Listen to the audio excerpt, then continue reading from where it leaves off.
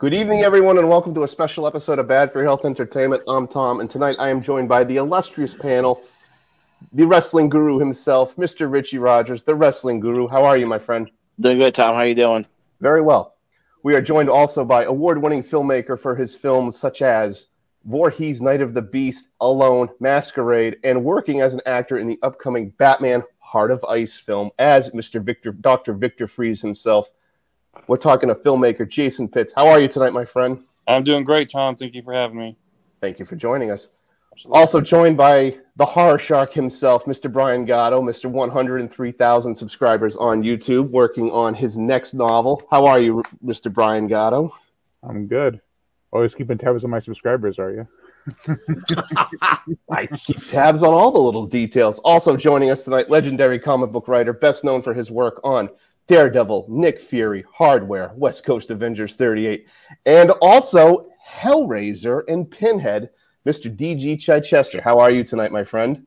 I'm good, Tom. I think that last uh, credit is all that matters for the evening. So that's right. Stick tonight, with that one. Tonight we are talking heavily about the creation of Clive Barker's that originated in the Hellbound Heart. We're talking about the man or woman of the hour, Pinhead. We're reviewing the 2022 Hellraiser film that just debuted on Hulu this past October the 7th. Distributed by Disney, mind you. Let's go. Let's get that out of the way. Hellraiser. I, I am looking forward to Pinhead walking around uh, the Disney parks myself. I think that's going to be great. You know, it's going to be phenomenal. Yeah, yeah. pens with little mouse ears. Yeah, exactly. Pin, Pinhead is uh, the new Disney princess. Yeah, I, I think it's, it, that's the best. That was one of the best lines I've heard. Pinhead is the new Disney princess. It's a brave new world in 2022. uh, before we get into the movie, though, I want to take a step back to you specifically, DG, and talk about your first interactions with the character and possibly Clive Barker. Can you go into that a little bit on how you got the gig editing uh, and writing Hellraiser and subsequently Pinhead? Sure, I'm not going to take up your, your whole show with, with a history lesson, but uh, essentially, I was an editor at uh, Epic Comics, uh, Marvel Comics, uh, mostly creator owned division, but also uh, known for higher end and more mature comics. Archie Goodwin was the editor in chief. Archie Goodwin's a legend in comics and also a legend in horror comics. He'd uh, worked on a lot of the Warren titles, eerie and creepy. I was a big horror fan and was always jonesing for we should do a horror comic, Archie. You know, you got history. I, I love this area. Can we do it? And Archie was always, uh, calm down, kid. Horror comics don't sell. And he was, he was right. They, they really don't sell in comparison to other things. Uh, you need a hook. Anthologies just don't sell on their own. Well, it happened that in Marvel being passed around to various and different places, at one point Marvel was purchased by New World Pictures. New World Pictures were the producers of the Hellraiser films and um, a guy who would become a good friend of mine, Eric Saltzgaber, was in their foreign licensing department, was a good friend of Clive Barker's, and knew that Clive had an interest in comics. So Clive came in to the Epic offices in New York and got together with Archie, and uh, and they had a meeting, you know, in their office, mysterious meeting about uh, puzzle boxes, no doubt. And uh, and Clive left, and, and Archie came out and said, "Be careful what you wish for, Dan, because you just got it." We're going to do a horror anthology because the hook is um, we've got uh, we've got Clive Barker's name and we've got this known property Hellraiser, and that's going to be our hook. So uh, from that point, uh, we had the Hellbound Heart novel or novella. We had the first movie, second movie had just come out, maybe uh, or was about to come out. Um, so there wasn't a lot beyond that. What are you going to base this whole anthology on? So uh, myself and Clive and Archie, uh, this guy Eric Saltzgaber, and another horror author named Phil Nutman uh, got together, and we started to have these idea sessions to blow out the world of Hellraiser. Like what what what happens beyond what we've seen in the movies? What does it all mean? And we developed that into a, a kind of a Bible, and that really launched this anthology, which we wanted to be both very mature and very you know pushing the boundaries uh, you know the the cover not the cover copy but the the line on the poster that i wrote was uh, horror the movies don't dare unleash uh, right and that's what we really wanted to go for and, and try to push the boundaries of the world the mythology um, and uh, and that was the the genesis of of the the comic which was a pretty high end comic had a lot of high end names and artwork and uh, you know, really proud of what we were able to to do with it. I think it's an incredible comic, and I loved going down the rabbit hole of reading what I could find available to me at a at a, at a comic book store in Salem. You know what I'm talking about, DG? Yeah. Good old Harrison's.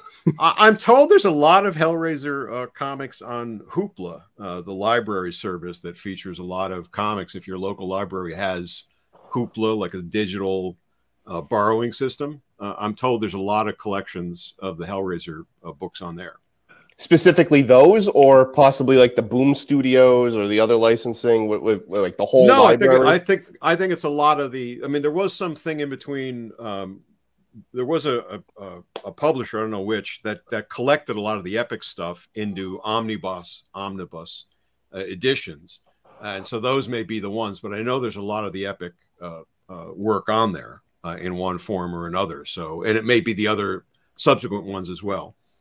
Last question. Last last question before we get into the film. How was Clive Barker as a collaborator? I know we've talked about it before, but for the viewers and the new panel, you you cannot imagine a better uh, a better creative collaborator to to work with, especially considering he was, I would say, at the height of his powers or or coming into it.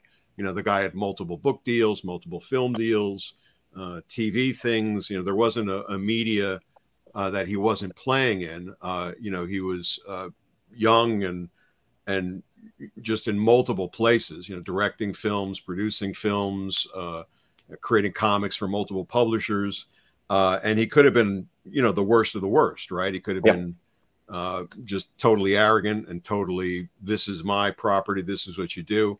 Uh, could not have been a more, you know, charming person. Uh, t- twisted in the best of ways, but uh, um, but uh, just you know, even in that that initial uh, idea session I was talking about with that Bible, you know, he could have said, "This is the rules, go and make it happen." But he, you know, he had he had some very definite ideas and knowledge of what hell was about, what the Cenobites were, and what Leviathan, the big diamond god of hell, was.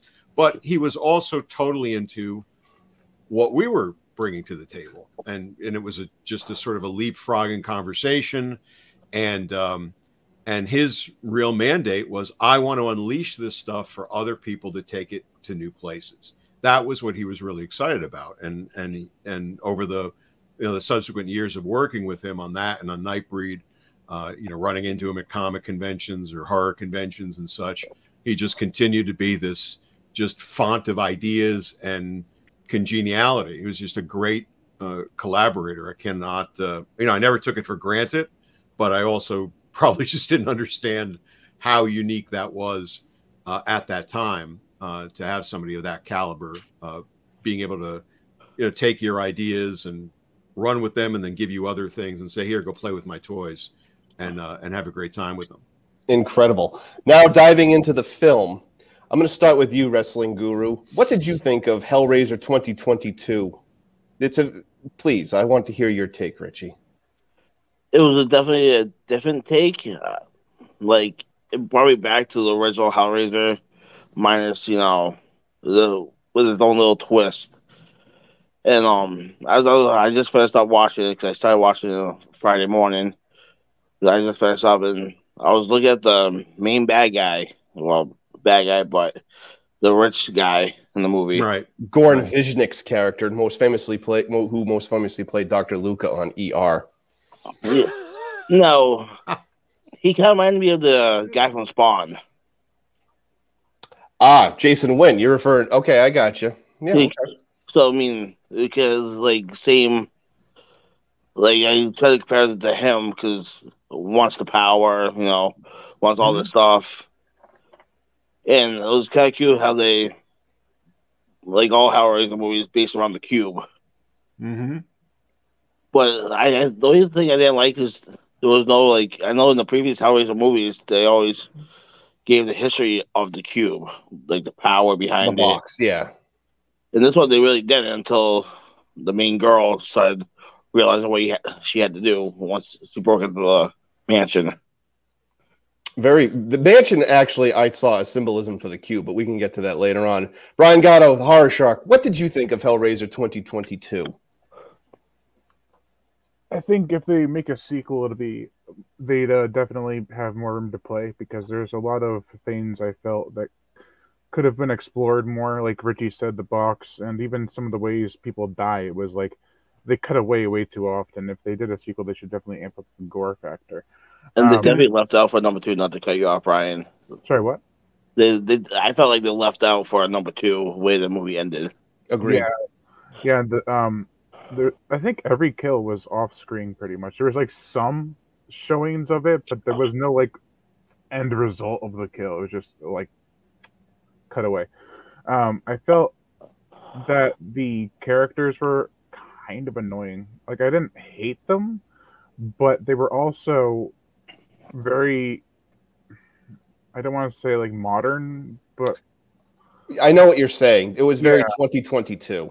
very 2022. It was very much like in that congealed uh, little bubble where they're like, oh, um, That's a good word. what congealed? I love that word. I love that word. I love congealed.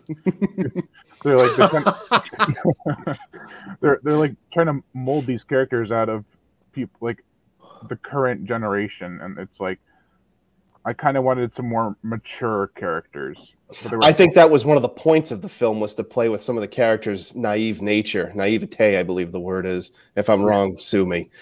But, but we'll get to my take on it later on. Brian, continue your take. uh, If I interrupted you, I'm sorry. That's all right. Um, I think the Cenobites. I do like how they weren't revealed right away. It was very gradual in how they revealed Mm. them. It wasn't like right away. Um, I I do think that they some of the new rules they came up with were cool, like um, how you have to get cut by the box in order Yes. for to be summoned, um, and that other Cenobites can be affected by it. Um, it's not just humans that can be affected by it. Well, Um, hell, hell has its own. Hell has a new set of rules. That was one thing Yeah. I said while watching it. Yeah, yeah, yeah. And I don't know if it was just what I was watching it on, but the film was very dark, like in, in picture Yes. quality. I was- No, it, it was. yeah, I was trying. I was trying to see certain things, and I was like, I know they're running, but I have no idea where they are. Agreed.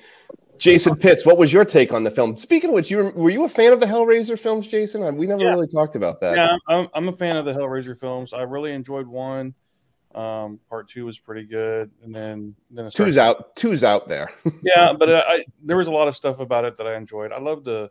I also like like the CD head guy from part three. yeah. yes.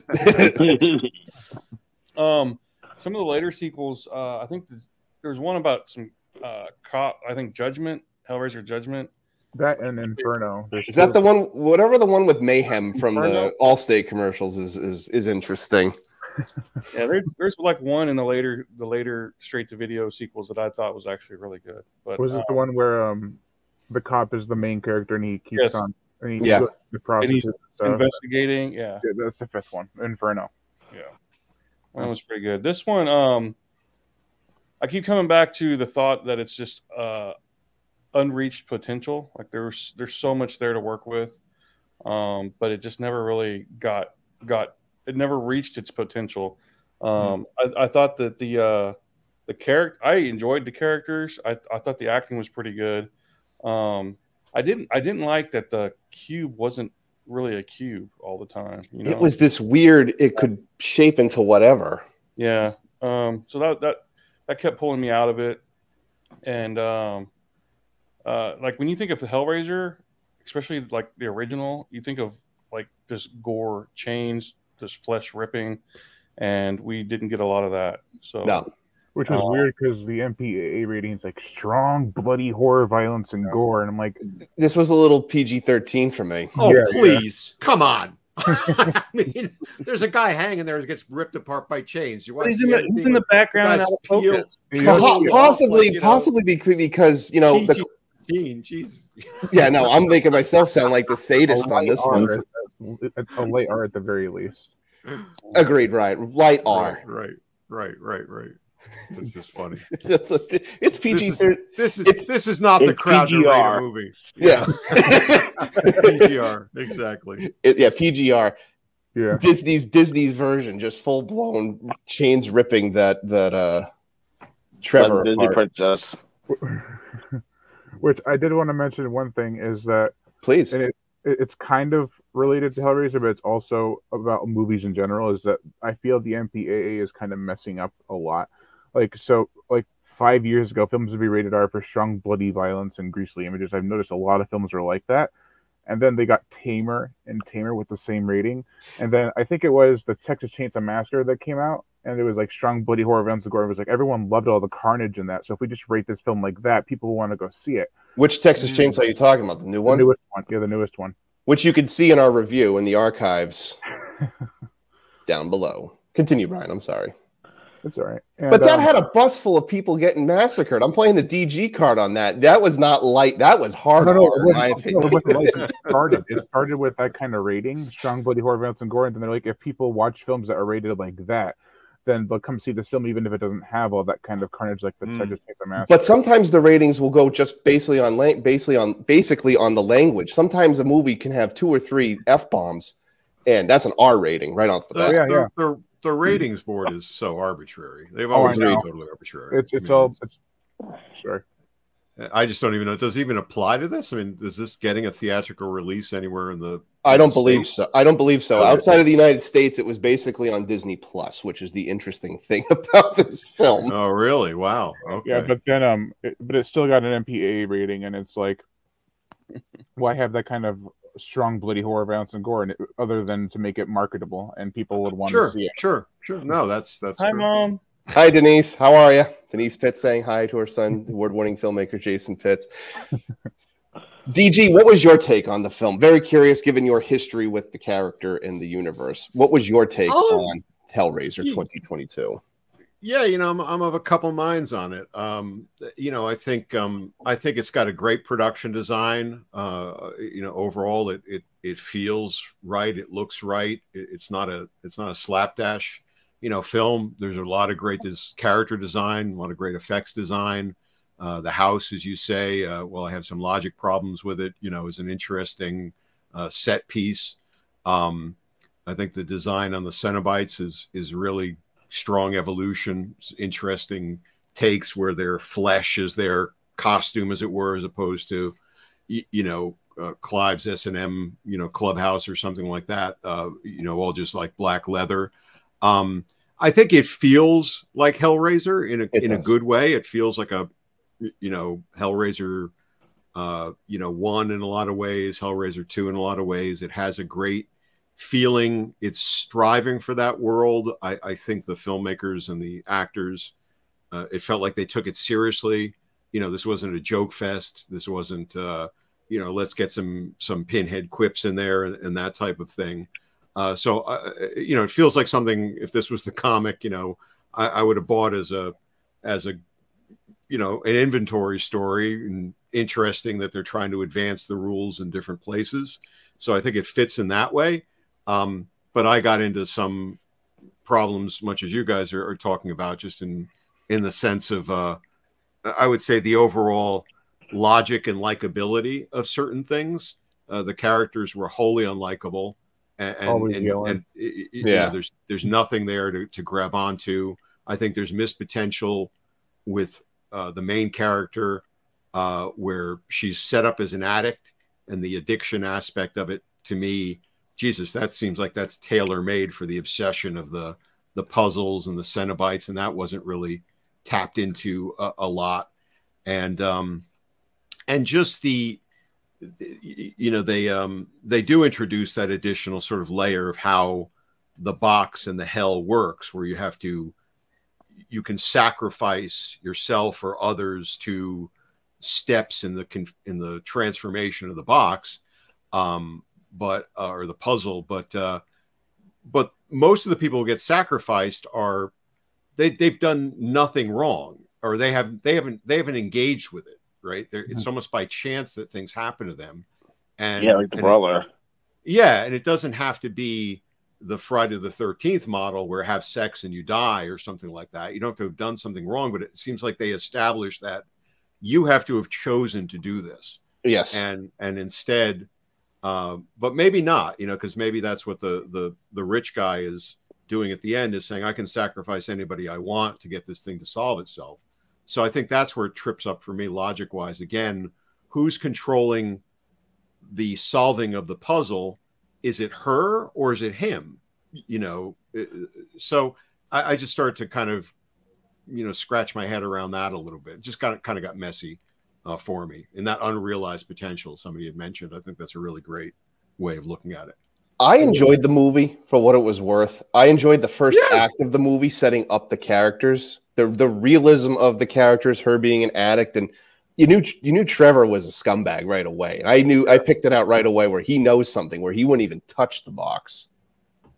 Yeah, you know, he was just an idiot, you know, an and, idiot. that's that's you know, I mean, even the even the whole thing of like it being in the safe and uh and, and you know to me that was the make... box within the box within the box and how deep are you willing to go for right. your reward temptation whatever right. that's what it felt like to me but, but she I... knocks the she knocks the front off the safe and that bothers me yeah, like me she's too. not she's not a puzzle solver no she's a puzzle breaker she's a puzzle breaker and and, and that should actually been something that they continued with you, yeah. you know you know in, in the sense of if she was the if she's the sort of person who who breaks a combination by kind of cutting through the Gordian knot. That could have been sort of her superpower in a way to sort of trick the Cenobites and mm. or, or play it out a little bit more. With this, obviously, with this review having spoilers, do you feel like that was the filmmaker's intention Sorry. at the? No, no, no, it's fine.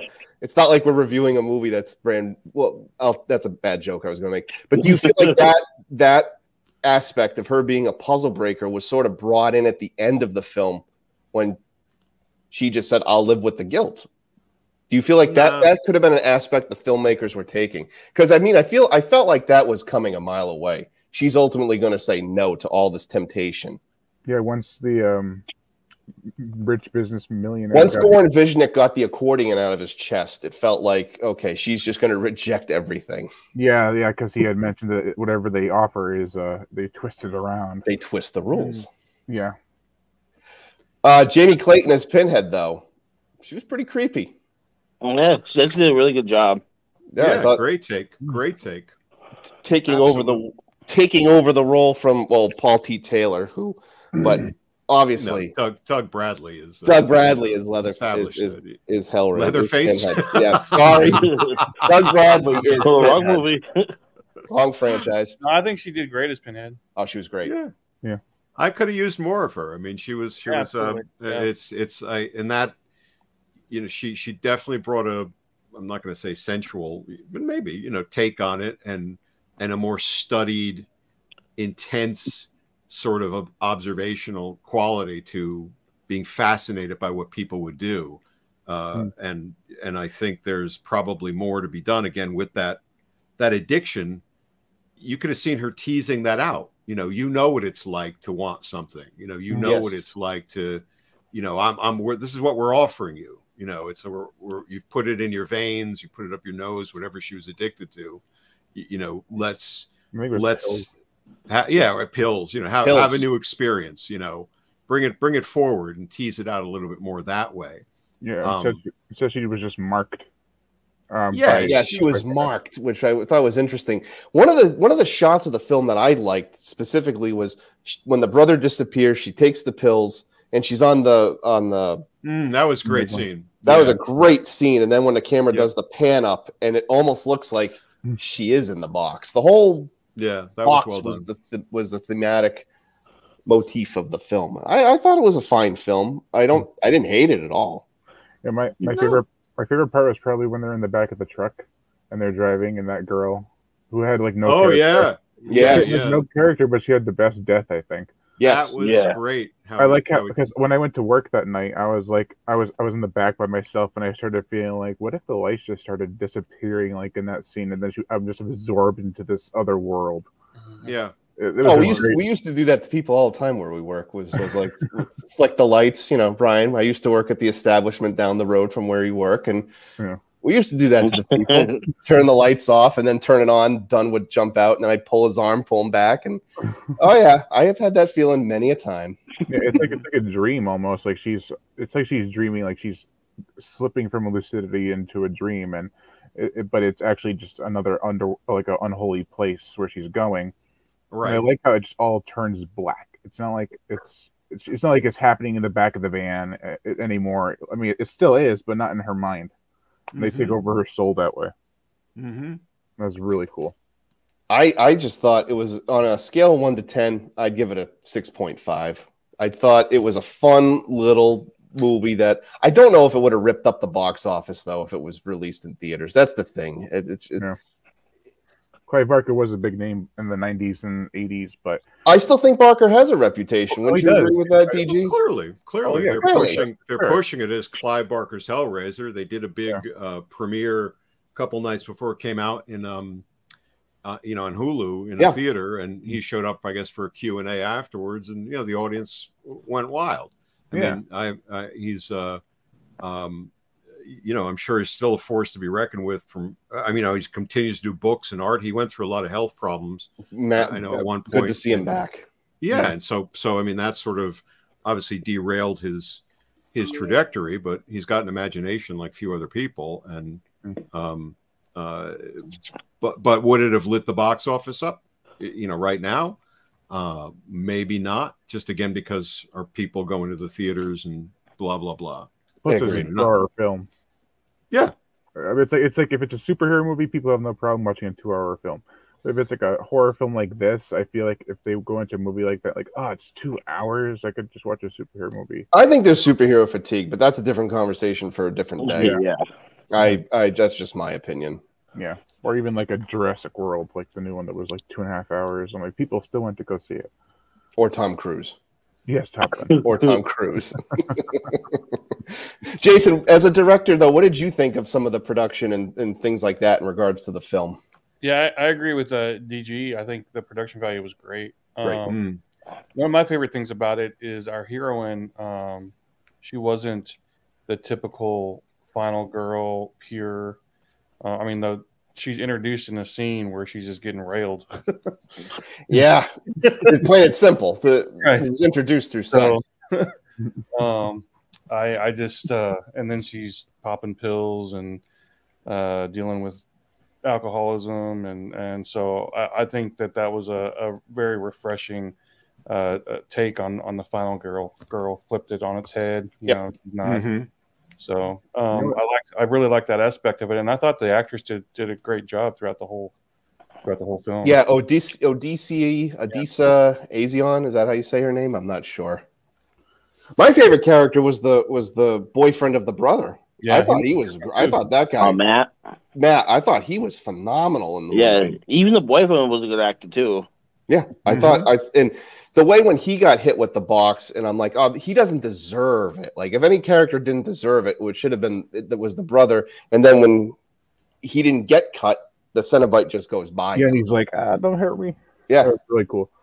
Um, Then but the, the scene, the scene where um she gets in the fight with with the brother and he tells her to, to leave.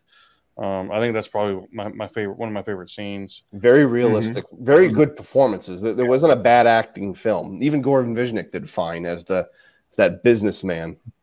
yeah, people when they make, I remember movies and they act like they're fighting, they usually go from yelling to like getting acting like they're super angry when they're talking. Hmm. But you ever see that? It's like Yeah, out of my house. But no, people normally just keep yelling and yelling and yelling. And that's it was realistic like that, but it was kind of annoying at the same time. But it's it's still it's also like, like dabbled, like some humor was dabbled in there. Like when he's like, "Did you guys just turn the TV down to listen to us yell?" yeah. Did you just turn the TV to listen to us have this good. conversation? um yeah, but the uh what was I gonna say? The uh shit. Keep going, I'll remember soon. Richie, what you thought? You thought it was pretty good. Talk to me a little bit more about what your take on the scenery and the production value was. I thought they did a really good job, you know, with the production and the, like the screenplay. Uh, one of my favorite, actually, I have a couple of favorite scenes. Is um, one of them was when Pinhead's talking to the businessman when they first, "Fuck you," he's doing that, and then finally the gate opens. I take it back. I like that, and um, when um the boyfriend Yep. uh, of Matt. "Oh, What happened to Matt? Where is he? You're, you're not telling us. And Mhm, he's, he's holding cube. mhm. I don't know. This just happened. He like made a, he had a great demise, or was that was the line, or something of that sort. I like how that businessman, um, when he when he's getting that device sticking out of him, he's like Voight. Yeah, it's like he's throwing up through his chest, and it's just like nasty. Yeah, Yeah. I, as I jokingly called it, the accordion through the chest. But that was that, that imagery of him just kind of was weird because you see him shirtless and then he has a shirt and a jacket on, which I was kind of. Yeah, well, must have been Because- the shirt and jacket he had already had on when it happened. I thought the design of the house was was weird, Yeah. but but cool at the same time because it obviously played with the theme of the box. But You know Yeah, different lights, you know, changed.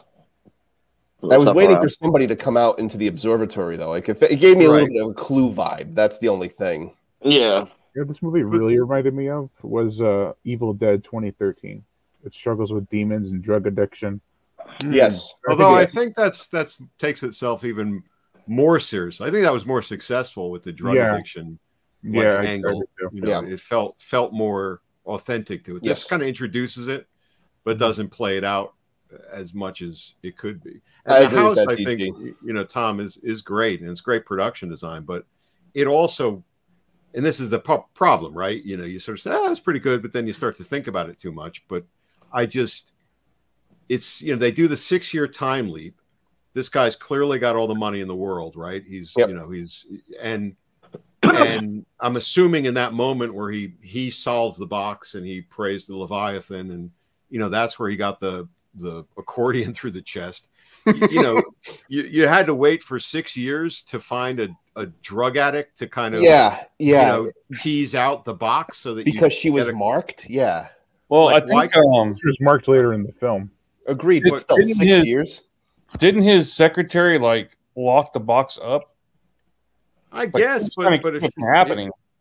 she thought he died and so she she Yeah. sold the estate off maybe but Yeah. i think that that needed you know that needed a beat of some kind Yeah, I You know, agree. like sh- shuttering it up she says fuck you you know void you know i'm selling all your stuff off but then again you sold all the stuff off but this mansion stays there yeah. you know for for six years and Yeah. and and he's hiding in the walls uh, um it, it um you know would have been again let's rewrite the film for a second you know if they showed up and it would be more like a, a, a parasite you know somebody else had bought the house yeah. and they they kind of go in you know shit, the, the addicts run in and they're like you know demons are coming what the fuck Or are you like talking Amityville about? in a way. In a, I know what you're saying. Right, right. Yeah. But then they could they could have been just you know uh, uh, you know fodder for the Cenobites, have them get ripped apart, but then find the guys living in the walls still. I, I don't know, but Yeah. Speaking of that secretary, the scene where she's taken,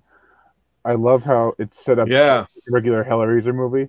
Like, oh, Right. she's It getting did, wheeled it into did. This place. She's getting wheeled into this place with other people, so she should be fine. But once they leave, you're like, yep, here it comes. yep, yep. The one thing I really missed, and they kept teasing it, and I was like, "Fuck, you dropped it again." I mean, Christopher Young's score from the originals is just Yeah. one of the best horror movie scores Agreed. from that time, certainly. Agreed. and uh, and they kept teasing the beginning of it, and then they never carried it through. It never picked it, up. They did, they did at one part where she's reading the book.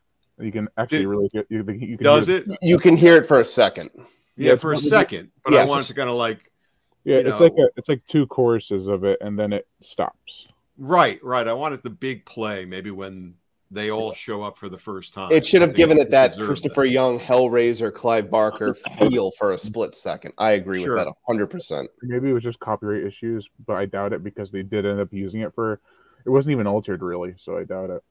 Right, right. Maybe they just didn't feel it was appropriate, you know, in terms of uh trying to make a break with the past or something. I'm not sure.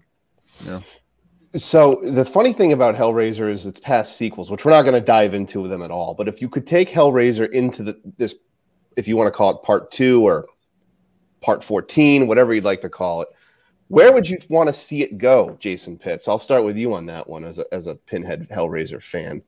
Um, I would like to see like more, more about just how everything works, like the like the link between the box and hell, and and uh, just like more, more lore and more more explanation. Um, I think I'd focus on that. Agreed. Brian Gatto, what do you think? Um, are you asking like if where where where to place in the timeline of the movies? No, Or- I'm asking where would you take a Hellraiser two? Oh, okay. Um, I would kind of pay homage to Hellraiser three and Hellraiser 4's ending and then the beginning. I was gonna say you're going to space. No, no, no. Like the whole building's a box. Yeah. I, like maybe the inception of the idea and how he came to the Cenobites. Maybe he had sacrifices beforehand.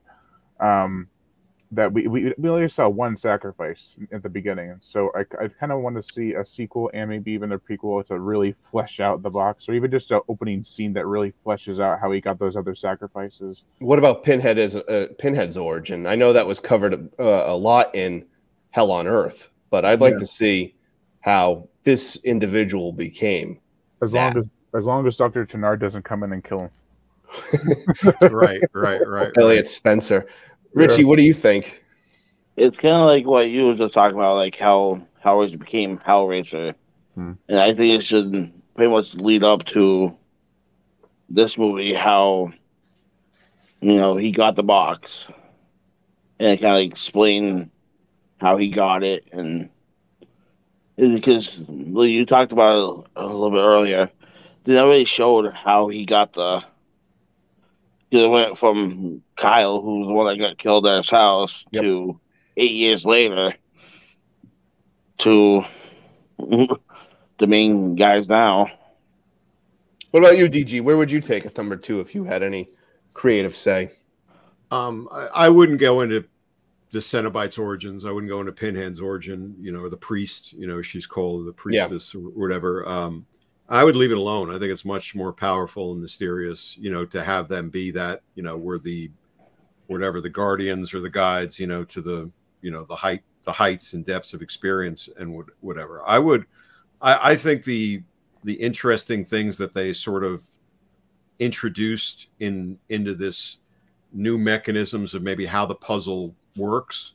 Um, you know that there's these before it was just called the lament configuration, right? That was The just the name of the of the piece. Now in that book there was six six different configurations, right? There was lament, there was leviathan, there was something something. So many, Now, I thought, Yeah. I thought that was a really interesting uh, twist, uh, and and I think you have the potential with that. And I'm just showing my roots here. Um, you know, to go in in so many places. You know, Clive was there for that one line where they where they actually said this is about transformation because transformation was the key theme that was in the Bible that we wrote. Right. Yes. That's really what this is all about is transformation. So I think you could introduce better characters. I wouldn't go back to fucking her. She's useless. And you know, anybody else who survived, I don't want to see more about her. She's not that interesting. But I think you could have that sense that this puzzle is introduced to somebody else in a situation and just open up a whole new storyline. New Um, characters. Yeah, plus New it seems like characters. Agreed. Yeah, right. Push it, push it more. The worldly Introduced it. vibe, the uh, otherworldly take. yeah take it take it to somebody who's you know in a situation who's going after one of these other things what does it mean to get the power what does it mean to get this Yeah, know, plus it somebody seems like may- their story was kind of concluded in this one. right right Yes. You know I, they, I couldn't see her coming back. She's like you said, she's useless. If there's a part two, you have a new heroine or pro, a new protagonist. new protagonist you know Yeah. and, and and they're and they're exploring something and they're and and then you've got a chance to introduce these other elements here there's no there's no character here on the order of of you know Jamie Lee Curtis you know who feels strong enough or or you know Bruce Campbell this isn't something I need to follow Mhm. You know them along the way yeah, it's not their journey; it's the journey of the world of the box in a way. uh, The yeah yeah, right right Plus what does it in Hell- mean Sorry, go what? ahead sorry no Oh. please Oh, Brian? plus, plus in Hellraiser 2, when they uh, revealed their past, they kind of it seemed like they were at not really at peace, but they're like, I don't need to do this. I already know I have a past now. So if they kind of reveal their past in the in a new adaptation, like what what would be their point? Like what would why would they continue doing this then if they know they were human? You know? Right, or they could know that they're human, but they and they sort of like maybe allude to that, but they're so far beyond it, right? They've taken themselves and allowed themselves and revel in wherever the hell they are, and they want to introduce you to it too, right? Don't you want to be one of us? Don't you want to experience? Fuck no, but you know, there's, but No. but but to them, it's it sounds great. Um, Yeah. Uh, but I don't want to know that, you know, uh, the priestess was a barista, y- you know, at, uh, you know, she was frustrated because they didn't unionize and, you know, and whatever. I don't want to know any of that shit. It doesn't matter. Could you Yeah. see Goran? Spoiler alert! Could you see Goran Visnjic coming back with that almighty power that you see in the final scene? I thought that was interesting. How basically he's in hell and he he he gets born again. Like an, he looked Right. like an angel with the mechanisms on him. Yeah. that was the uh, that was the thing. I'm like he, he is being reborn as the almighty power, but it's like I thought if you were gonna have a Doug Bradley cameo, that could have been it. I was just saying. I wasn't holding on hope, but I was like, that, that that's the moment. right, right, But- right, right. Like, what was, what power does he have other than being reborn? That's know? the thing. What is their definition of power? What's the tr- Yeah. what's how did they loop the rules? Yeah. So that could be even like explored in the sequel and have Voight come back. Well, that could sim- right, and that could simply be, you know, you now have the power of, like his interpretation of power was probably based upon being a really rich guy and wanting even more. But their definition of power is Something that's else. The trick to hell, right? You get to share now the experience with others, um, and that's powerful in its own right. Yeah, but he his design it was like on the metal gears and everything. It, it made him look like he was an angel, which was very symbolic of what he said earlier in the film, where he's Yes. like they're, Mm. they're angels. And like, Jason Pitts, I saw you have a thought. What do you got? Uh, I was just gonna say I, I took it as like he was just becoming a, another Cenobite. That Right, too. He was being reborn into that. Yes, exactly. Yeah. the angel Cenobite. Well, that's that's just their take on hell. I mean, you know, when you say hell to other people, there's multiple interpretations. Some people think of, you know, like Richie said earlier, the Spawn universe, or, you know, dare, dare the the the Marvel hell, the biblical hell, some hell, you know, Lucifer, the Lord of Light. It's just I mean, look how good the Conjuring universe did, uh, just based off Yeah. of one movie. Yeah. Yeah. Well, I mean, based off a lot of stories and one movie, but still. Mm-hmm. Mm-hmm. I, i i not in conclusion of this, but I have recommended Hellraiser 2022 to to some people. They're like, "Did you like it? What did you think?" I said, "Yeah, go watch it for two hours." I know Dunzilla won't watch it because he, he thinks all Hellraiser was stupid, and I said, "Well, you're missing out on a on a good little film." That's what I attributed to. It was a good little film that you'll enjoy if you if you are curious of that universe. If if this is successful, and I and I hope it is, I think Likewise, poured like I said, I think it's a very serious film. I think they put real effort and energy into it. It doesn't feel like a like a money grab. It doesn't hold up on the Hulu screen up against, say, Prey. You know, the Mhm. Predator. You, you know, reboot. It's not. It's Great not film. there. But, um, but I think, uh, you know, one of the things that's missing from it that would be interesting if they actually explored it more was how s- skeevy and disturbing the first Hellraiser is more so. And I'm not just talking about the gore factor. Hmm. Uh, you know, think about that. That uncle is disgusting, Yeah. right? The uncle Yeah. is like His you know, is rebirth coming back. everything. Yeah, he's coming back to to hit on, you know, the woman he's having the affair with. He's he's you know he's perving on his his niece. You know, there's a whole Yeah. weird other Sleazy level angle. of yeah, Uncom- there's an uncomfortable, like icky feeling. dynamic to that, right? He's more disturbing than the friggin' Cenobites are. Right? Agreed. And, Yeah. and so that's something I think you want to find that the stories uh, I- I can think reveal they- more. I think they kind of tried to do that in this one with the with with the rich guy, but it's just like being Little rich bit. doesn't necessarily mean you're like like Little that bit. guy, like evil and stuff like Yeah. that. But Right, like, he- right. Like when he's walking into the Coliseum or what- whatever it was, the big room, Yep. and and he walks by and you can see like an orgy in one room and people are Yeah. drinking. That's Right. Right. Yeah, yeah. Yeah. Right. It's a. It's a. It seemed yeah, like right. that- eyes wide shut sort of thing. Yep. Mhm. That's a good analogy. The eyes wide shut, but the, like that side was sort of tamed, and I it's probably because of Disney or licensing fees. They don't want to go that Yeah, creepy, dark, uncomfortable SVU type thing. Right. right.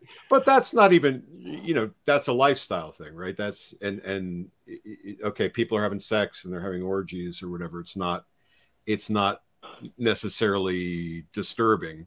No, in, in its own way. Um, and and him just being a rich prick. Okay, we got to a billion rich pricks, Yeah. you know, in our world at any given moment. True. But he needs to have something more. more. He know? need he his cat. He needed something more. Yeah, you can't just throw a red light on an orange and be like, yeah, he's. And that's why I thought of the bad guy from Spawn. He wanted Mm, more. mm, Yeah, you get Mhm. you. I like that, Richie. You gave it that Jason Wynn Yep. vibe, except Goran Visnjic and Martin Sheen. It's tomato, tomato. Yeah. I, I I liked it. If you had to rank it on a scale of one to ten or four stars, what do you give it? I give it two and a half. Richie, I'll, I'll give it about three. Horror Shark, Uh, two point five out of five. Jason Pitts, Uh, three out of five. Dan Chichester. Yeah, I'm probably gonna go with the two and a half out of, out of five. Yeah. Enjoyable, definitely. You know, it's it's on there. You got Hulu, watch it. You know, Yeah. it's there. It's not a time waster. it's not a time waster. You're going to get some good stuff out of it, and um, but may not be something you return to. But if it helps, like I said, move it forward, that that that'd be great. Be great to Right. see more more from that team. I think I might try to watch it again on an, on a. I watched it on my phone because I had no time to get my. Oh. I couldn't, I couldn't even. I, I watched it on my computer. I confess that I watched it right where I'm sitting. yeah, I couldn't Sure. sit down on, on my computer because of this. So I was just Yeah. like, oh Hmm. well, let me just watch it on my phone. And my phone has terrible lighting, so it's like when I was watching the dark scenes, they were really dark. I think we lost Mr. Chichester, but um, he'll be back in a second. I have a feeling, unless Um, you really I got offended by that. but I did like um towards the end of the movie, um after he got the like organ or whatever out, out of him, and you can see all his body start like healing. And he's like he's like all excited. He gets the chain right through him.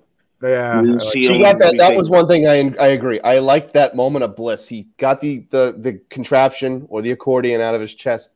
Ha ha ha! I'm like, you know, he's just gonna get screwed. yeah. yeah, and you see him just taken up to the light. Although what I don't get is when he is up there and he's being transformed into an angel Cenobite or whatever. Is there still a hole in his chest? I don't think there was. No, the hole was cured. They you see you see the intricacies, uh, the the spine. Yeah. Yeah. it's stitching. Oh up. yeah, that's right. That's right. I remember that. But he then he got impaled again with the chain. Yeah, that was a great year. yeah. Uh, I, I didn't see that when he was getting Yeah, transformed. yeah, that that healed once the chain left. That Yeah, healed. he just did that again. That's- How many how many different configurations of the box did it have to go through? There Sticks. was there were Six. six. in the in this new rule book. You know, they're Right. like so there are six. Yeah. right. When, when she got it, it was back to one, right? Yeah, Yes, because she That's, was that's the part I don't get. Is Yeah. he started it, right?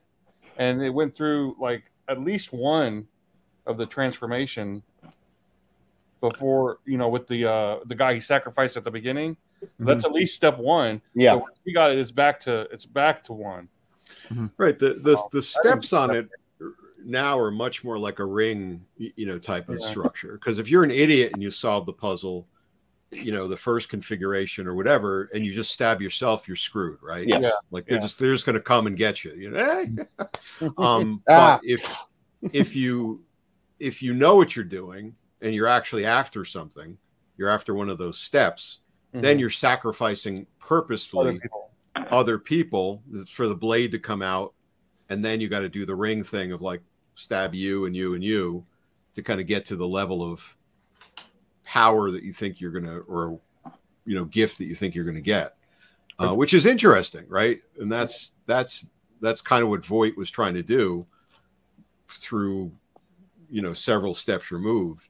But that would be a really interesting story if somebody was more direct at doing that and you were following them and maybe they were doing it for a reason that felt good Just- even in a way good or justified. well kind of right you know like i'm trying to save my daughter you know Yes. or something like that and you know you know you've you've gone down every other avenue and You, this is you something that you think is justified you're going to use them for your. It's. It, I know what you're saying. You're going to use the rules to your advantage. right and of course that'll them. get twisted Maybe- up and It would be kind of cool is if they did a, sor- a story with um a gain or like a crime, and that person, the person is No. like the victim of it all. Yeah. You go- you go after them with this puzzle box. Oh, do yeah like a, that would uh, be cool like a pumpkinhead vengeance type thing. Yeah, Yeah. Pumpkinhead Vengeance, Yeah. Charles Bronson type. Like that that's would be what really cool That'd that would be be in- excellent That'd be a new twist on it. right right like And something then, um, yeah yeah That would be Although awesome. I would actually. love, I I would love to see one part where they solve the box and the blade misses them, and then it just ruins everything. Mhm, mhm. Yeah, I agree. That'd be funny. Let's write it, Brian and Yes, DJ, sir. Jason. Yeah, I guess it just wasn't clear to me on like when does the box reset itself? that's Oh. after it cuts somebody. It's a, yeah. Well, I mean, when does it change? what I or when does it understood is like every time it cuts somebody, it goes to the next configuration. Well, that's Yeah. the, the that's the logic thing, Jason. Right? Yeah. That gets back to who is who is leading this one. Because Right. if it's if it's Voight doing it, it's his steps, and he doesn't know it's his steps. Oh, Tom solved the puzzle box. Um, and uh, then it it it should stay in the sequence of wherever he wants to go. But if Exactly. you were to pick it up for the first time, and now you're in control of it, it should be it starts to in the the square. first place for you. In this story, when she got it, he It was a square. It was. was It was still the in- box. Hmm. right. but it was still his thing that he was trying to accomplish. yeah, that, yeah, I see what But you're the saying. box reverted Yeah. back to step one because Right. the assistant's like, hey, it shouldn't like that's not. It's The, it's the wrong configuration. Yeah, That's not how I left it. Right. exactly. Right. So I'm not exactly sure. Yeah, I would have think a little bit more like Jumanji. You know, hmm. with the Yeah. game. Yep. Maybe maybe they um like maybe he had done more sacrifices before, and then that, that one that That's we- the problem with the He had six year to. Yeah, there window. was He had eight-year to. gap. He had to have because yeah. if if step one is the box, when when the guy he sacrificed at the beginning got it, it was elongated. Yeah. Yeah, That was maybe right. was It the went to the whole- That was the to the prize whole he got. Yeah. Maybe that was one, just the right. last one that they were trying to. See, maybe that was the last sacrifice, Mhm. um, or the second to last, or whatever. That's why he was looking up and saying, "I want." No, that that was the last one because that's when he got his prize. I'll get my prize. Right, and that that's the kind of thing that could have been solved with one line, right? Yes. You know, you're, you know, he could have he could have dismissed them when they show up. Like, you think you know what you're doing? I've done this Mhm. fifty times in the last six years. You know, to like through to people like you. You're just the latest in the in the long line of Of you know people that I've used to my own ends. Ha ha ha. Yeah. And- Yeah. That's a good, Um, better storyline. and that would have given his character a lot more of a sadistic backstory with just Right. that line. Right. Right. Not I've been right, living in the walls for six years, kind of like yeah, Right. Putting my Was suits he- on. Wasn't with he paying her? Wasn't he paying her boyfriend to kind of orchestrate the whole thing? Yeah, Yes. yeah, that was yeah. And but like it I was say, if- unexplained her though. That was the thing. She's marked. Yeah. But if you've Yeah. got all that money, you could do better than than hiring, you know, the sleazebag boyfriend, right? Yeah. To, Yeah. To, to get to that. One thing I don't get is how come if he's done this so many times, if he did it more than the six times that he was for that one power, um, Right. then why isn't he showing more signs of injury or pain or pleasure or power? It's just that one thing that went through him. So You're right. it- yeah, it probably just was like he he got to the sixth one and he got his prize, and then he wanted another prize to get that thing out of him. But mm-hmm. that's the problem mm-hmm. we're saying is why why would he settle for settle for hiring Trevor mm-hmm. the dumb delivery man? Which I don't get why he let her take the box when they opened the thing. He's like, I sh- I was supposed to take it, but then she takes it, and he doesn't take it back. He was scared of it. Yeah, but it was his job to take it. Well, we all do things at our job we're not supposed to do. Speak for yourself. I'm just kidding. no, I always follow the. I always try to follow the rules. hey, you know, it had. If that's the job, if the movie did its job and made us ask questions, it did a good job. Absolutely. Then. Yeah, Mhm. no, there, there's an interesting enough to have you ask those questions. It wasn't, Yeah. you know, it, it wasn't. It, it's peculiar and strange, and you're sort of like, well, what does that mean? That could be interesting, but it it, it would be even better if it had been. Again, I'm mm-hmm. using Prey, which I loved a lot, you know, as a comparison. Which Prey felt was like, great. Prey was holy really shit good. you advanced that thing you went in the past you advanced the story and everything felt to me at least extraordinarily tight you Yeah, know and the, and the and the, the callbacks were like spot on you know when it went to the you know if it bleeds we can kill it it was like fuck yes you worked that line in, you worked the line in. in Yeah. I love Cherokee no Prey. less, Or the- you I know. loved Prey. Did you watch the, the dubbed version, DG, or did you watch the English no version? no I watched the English version I bra- I did both just to see what it was like. It that was phenomenal. right Prey was great. I love Prey. Yeah, it was. Prey was awesome. Yeah. It was good to see Predator and Hellraiser and Leatherface get advanced here in 2022. exactly look at that Well, in Halloween. Yeah, and Ju- uh, jury's still out on Halloween. well, I was going to say and Scream, but I think technically that came in out in December. No, come on, January. and we saw Jason Voorhees a little advanced in 2022. Correct, bit, Jason? yeah. We saw it advanced. I Yeah. liked it. Not just me though, man. There were so many fan films that were really good. So many. So Uh, many. Have you seen Vengeance 2 yet? I have not. I, I have the link on Uh, my saved in the Facebook. I plan on watching that one of these nights. Do you guys get a chance to see Jason Rising? I have seen Jason Rising. It was pretty good. Yeah, it was really good. I thought. That's actually. I think that's the only fan film of Jason I have that's on Blu-ray that I have. I What about Blood? Of, what about Blood of Thorn? Are you going to have that on Blu-ray when it comes out? Can you put it on Blu-ray? I'll figure. I'll find a way. I'll buy it. Find a way. I'll find a way. I find it. I'll sign a copy. way. He- He's going to solve the puzzle boxes This is and gonna ask, and ask He's going to go to the uh, the Blu-ray configuration. Yeah, Tom, I got I got I've got to go um like do a puzzle box for dinner. So um uh, Likewise. I, want, I gotta I gotta bail on you. But uh guys, it's great seeing everybody. You too. Likewise, DG. DG. As always, check out DG's weekly newsletter, storymaze.substack.com, Thank you for and the shout out. keep following his Facebook page, DG Chichester Writer. And hopefully, next time we talk, DG, you have a few more things you can tease. We'll see. We'll see. Plus, I have a funny story I want to tell you someday later on, but that's a, it's a, it can wait. It can wait. all right, all right. We'll work it out then. Take care. Take it easy. Take it Bye. easy, DJ. Yeah, uh, uh, his newsletter is phenomenal. He- Yeah, he's, I- he's working. Yeah, you've checked it out, Richie. Yeah, well, a couple times. Actually, really good. Have you subscribed to it? Have you received the the Hellraiser Bible? Not yet. I did. It was awesome. Yeah, I would definitely recommend any of DG's work. Uh, one of my favorite comic book writers of all time, his Daredevil run, Nick Fury. Now diving into his Pinhead take on Clive Barker. See, Great the one thing I did like about Hellraiser, not to cut you off, Tom, Oh, go ahead. was you saw her evolution as Hellraiser throughout the movie. Agreed. Because you saw her like with not a lot of pens in the beginning, and towards the end she's covered in the pens. Yeah. Yeah. Well, I go ahead, Brian. No, that's fine. I was just gonna say I like the new Cenobite designs, especially the one. I can't really even tell what it is. It has like tubes coming out of the side of its head. Its jaw's like missing or something. Yeah, that was weird, man. That was That something. creepy looking. Yeah, that the makeup design, the costume design, I thought on this particular piece were top notch. I I, Yeah. I, I I missed I missed the leather. Uh. Yeah, I wasn't a fan of the new like from the neck down on everybody. I wasn't a fan of. yeah. The only I- thing I, I missed the leather. Leather's great. Yeah. the only thing I didn't like about the Cenobites is they got rid of their second most popular one in this movie. It's like, why would you do that in the second, in the first movie? Yeah. I don't want to spoil who, but No, I know who you're talking. I know who you're talking about. Yeah. Well, before we all part ways, what are we all working on right now? Jason Pitts, what can you talk about about Batman Heart of Ice My in your next film God, projects? I am doing so so much. Uh, just uh, last just like two days ago, filmed uh, my part as Mister Freeze in Batman: Heart of Ice. Have one more day of filming. Um, it's going to be a lot of fun if you're a fan of the animated series.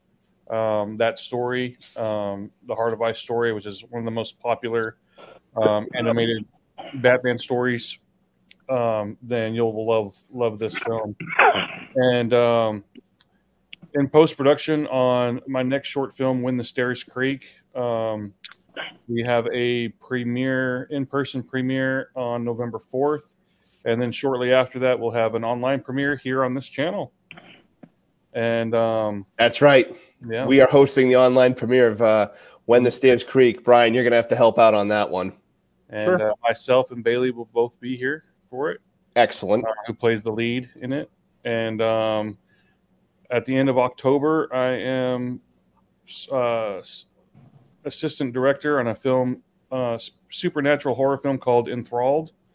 Um, it's a feature film, and and then we are doing we're shooting Voorhees two in November. It's not a full feature; it's just a short, uh, ten to fifteen minute follow up um, uh, to to Voorhees Night of the Beast. We're calling it Voorhees After the Beast Love it. and it kind of bridges a little bit more uh, into Jason Goes to Hell. Love it. And um, and that's that's oh, in, in in March we're shooting Lonely Echoes, So my, my plate's full. We're, we're we're moving along pretty good. Got a I, we always appreciate you coming on. Bad for your health, though. I always and I, appreciate I that. really appreciate your support. anytime, anytime. Brian, what have you got working on? What are you working on now?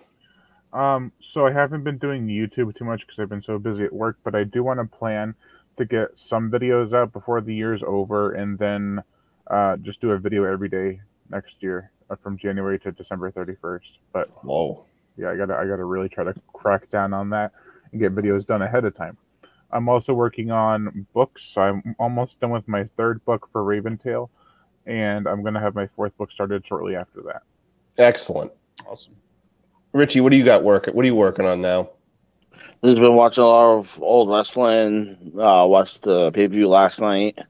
Agreed. Um, the, the Extreme Rules was last night, and definitely was better than what I expected it to be, with no real a lot of title matches.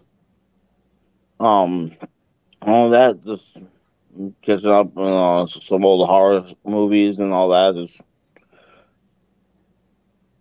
Doing your thing. Yeah. What was your What was your favorite match from last night? Oh, it was either the um, Riddle Seth Rollins the fight pit match Mhm. or the six man tag in the beginning between Sheamus and uh, the Brute uh, versus Gunther and uh, Imperium. Now, my question is, and I'm a little lapsed on wrestling. Is Sheamus like full blown over now, like face? Yeah, Pretty much. yeah, because he started feuding with Gunther and Yeah, that that that match with Gunther, people went ape sh- crap over it. You could say it went ape shit. I, I read the pretty reviews. much turn, it pretty much turned him into a face instantly. Unreal. and and I was at that SmackDown this past Friday. Were you there? Were you there? Actually, I was on the TV twice. Nice. You have to but back you and watch you that. can- I actually was wearing the shirt. Um, you can see me up in the corner. I was up in the balcony. You can see my shirt, and I had my um, my two nephews and one of their friends up there, and you can see me and a friend. Did you throw them up? Did you throw up the horns? Oh yeah, I did. Um, where it was Gunther versus Sheamus, and they literally picked up where they left off at the paper that following people uh the last pay per view. Incredible. Now the next one is Crown Jewel, right? Where Logan Paul will wrestle Yeah. Roman Reigns. Yeah. Yeah, Okay. Logan Paul, Logan Paul was in Worcester, and everyone booed him. Everyone booed Logan Paul. Oh yeah, it was awesome. That's all I got. I I, I could see people booing him. Yeah, I, I can too, but just like I'd see it more 50-50 though. I'm sure Roman got a nice Yeah. pop. yeah. Oh, yeah, huge. What about Sami? Did he get a pop? Logan. Oh yeah, Logan- Jimmy got pop. Uh, uh, even Solo Sunoco got a huge pop. I cannot believe Sami Sami's getting over with this stupid gimmick. I think it works it because the whole conspiracy gimmick. I thought he was annoying. I thought Sami was so annoying oh yeah, he a few was. years ago when he was Intercontinental Champion, but now it's like Sami's playing that nitwit lackey so Yeah. well. Did you guys see that somebody even changed his Wikipedia page to put their the the Samoan Honorary. last name? The- Sami got over it. Weird it's times. It's 2022. Yeah, It's 2022. That's all we can say. I will say that Logan Paul really impressed me with his match against the Miz. Man, that was an awesome match. and it was Really even the match at WrestleMania too. The tag team match was Yeah, was really Yeah, good. I mean, tag team, like I can see like him being carried through that, but when it's a one-on-one match and it's all on you, he did phenomenal. Yeah, I wasn't, I wasn't a full believer until that until that match. Yeah. I mean, I'm happy he's with WWE. He signed the contract and all that. Well, it was either that or fight Mike Tyson. Remember, wasn't that the rumor? Yeah, They were going to do Logan Paul and Mike Tyson. I was just sort of like, oh, this that would not end well for Logan Paul. well, I'm glad that we got together to talk Hellraiser. Uh, Absolutely, man. I'm glad you invited me, and I'm glad I was able to make it. As always, a lot of you guys have free reign. I hope to. The next big show we got coming up is going to be the Hell, the Halloween three season of the Witch 40th anniversary in a couple of weeks. Who's in? Who, let's get. Let's try to get a head count now. yeah. I know I'm in. I know you're in, Richie. When are you doing it? Two weeks, possibly. Two weeks from today, Yes. the 23rd. I should be able to make it. Happy, happy Halloween, Halloween. Hey, can we? Uh, but can we schedule our When the Stairs Creak premiere? Absolutely. When do you want to do it? You said anytime after November, and November is clear. Time after November fourth. Where's the calendar? Yeah. Uh, you want to do it on the fifth? Remember, remember the 5th of November. Sounds good to me. Okay. Brian, you in November 5th? Yeah. Wait, let me just see what day that is real quick. It's a Sunday. Yeah, I'll, I can do it after work. No, it's Saturday. That's November. a Saturday. Uh, November the 5th. Uh, yeah, I could do it a Saturday night. Hang on. Yeah, I can. Hold on just a minute. We are supposed to do that. What is that? Oh yeah, we can't do it on the fifth. Dang it. Uh, because he's doing that. I'm doing that. You're doing that. Um, what about the sixth? That is a Sunday. I'm in. I'm in. We can do Yeah, it- man. We'll have to do it a little earlier because I have to be in bed by like six. I'm in. Okay, cool. We're in. Sunday it is. And then So- we're also we're also going to try to get Halloween Blood of Thorn out by eight, October 30th. Oh wow. Yeah.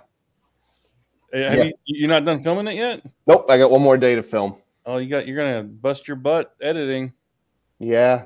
Yeah. well, man, I'll manage. also sign autographs now. We're going to try to manage. It's not going to be a big featurette or feature. It's only going to be maybe 12 minutes, but I got the itch talking to you, Jason. I got the itch talking to so many people, and I'm just Can't going to wait try to see it, man. I can't wait to see it. It's going to be something. I don't think it's going to rock the rock the boat, but I think it's going to be something. It's different. I think you've never really seen a black Hey, and man, white Halloween film. you, let, let me t- it doesn't matter. Like just completing it is something to celebrate. It doesn't matter. Agreed. Agreed. We've It- already talked about what we're going to do. hard to make these films. I almost I used to do it when I was like 18 or 19 and I had a lot more time on my hands. Now at, at you know, I'm, you know what it's like working full time and this was like holy crap. This is it's a lot harder than people realize. it's a lot harder than people realize. Even filming the Chill 2 last year with Brian, that was a, a couple of days of just pure nonstop work, correct Brian? Yeah, it's about probably about I want to say six, eight hours in one day, and then a couple hours the next day. Yeah, it's it's just it's your nose to the grind doing doing the movie. Uh, in closing, I want to thank DG Chichester. I want to thank you, Jason Pitts, the Horror Shark, and Richie Richie, the Wrestling Guru. Always, I'm glad to talk to you guys about everything under the sun. Next week is going to be a little interesting. I don't know if we're going to do Halloween ends or a review of Monster Expo because I'm attending Monster Expo next week in Taunton, Mass where it's going to be Mark Patton, Beatrice Boepple f- from Nightmare 2 and Nightmare 5, Erika Anderson. They're all going to be there. There's CJ Graham from Friday the 13th, part 6. So I don't know if I'll do a quick review of that. I don't know. I don't know what's coming next week, but I know in two weeks will be the Halloween 3 30th anniversary, 40th anniversary episode. And then maybe the 30th will be the review of Ends on top of the uh, Blood of Thorn sequel, which, as Dave Adams described, is Black Rain meets Halloween 5. uh, but November, we're going to do When the Stairs Creak. But that's the next thing is Halloween 3 will be the next big episode. We'll see if I can get DG back or I'll anyone else. to, I'll have to rewatch it. I haven't watched it in 20 years. The, the funny thing about this one is this is going to be one where we're not all unified. I know so Oh, many yeah. people uh, hate that film, It is, right, a divisive, it is a divisive movie. And I want that. I want a little, I want something that's so. Brian, where do you fall on the camp of Halloween three? We never talked about it. I think it's decent. Okay, to you be continued. yeah, to be continued.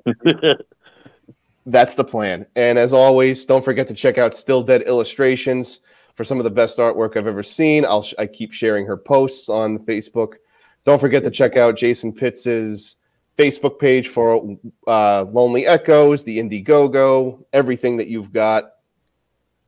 And don't forget to continue watching Voorhees, Night of the Beast, ripping up YouTube with 327,006 views Wow. since it dropped. Wow. As Listen- always, go ahead. Less than four months. It's crazy. Incredible. Incredible. I For still rest- enjoy it. I watched it again not long ago. I really did. I've watched it about three times already. Wow. Twice for me. Yeah.